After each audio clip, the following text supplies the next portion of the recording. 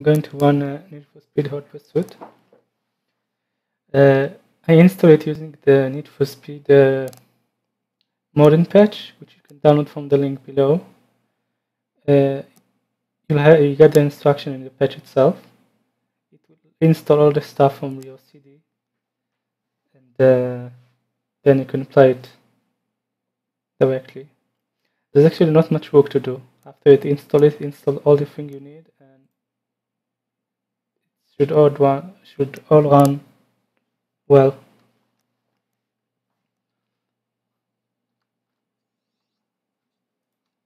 You see, it runs perfectly well.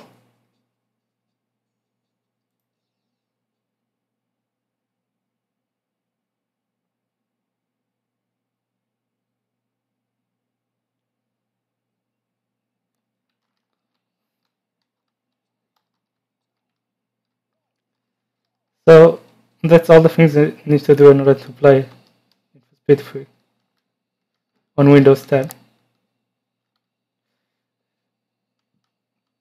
Next video I'll try uh, Need for Speed uh, 4 High Stakes